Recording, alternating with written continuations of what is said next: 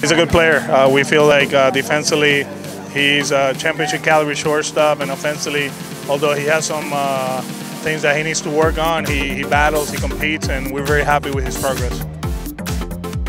Uh, he's a guy that uh, has good feet, good hands, good instincts. He moves very quick when he's playing shortstop, good arm. You know, he's always thinking the game, and uh, you know, he's a great defense player.